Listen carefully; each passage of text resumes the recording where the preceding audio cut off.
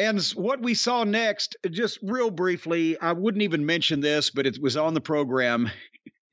LA Knight versus Xavier Woods. And I immediately wrote, even for LA Knight, I can't do the day thing, but at least they're giving LA Knight something. I thought, okay, a nice showcase for LA Knight. Wait. Xavier Woods, small package, one, two, three in two minutes. They beat him in two minutes with Xavier Woods. What has this guy done?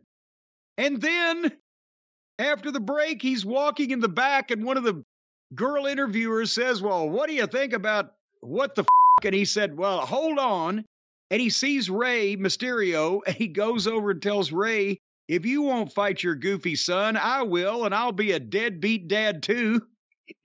and Rey punches him in the face, knocks him down, says something to him in Spanish, and walks off and it was rottenly executed. And even L.A. Knight fumfered a couple of words because he could probably obviously tell, okay, I'm getting beat by middle card guys in two minutes, then I'm going to come in and get fucking knocked on my ass by a guy a foot shorter than me. And I, he should have laid there so the girl interviewer could have covered him for a three. What are they doing here?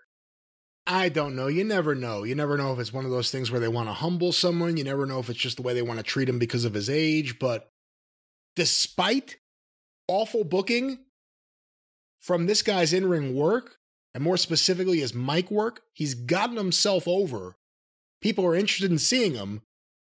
But for some reason, that doesn't stop WWE from constantly embarrassing him or treating him like a job guy. And I don't get it because I think, again, he's not a young guy, but out of all the people there that they've debuted on TV in the last six months to a year, he has shown potential. He has shown that people get into him. His work is good.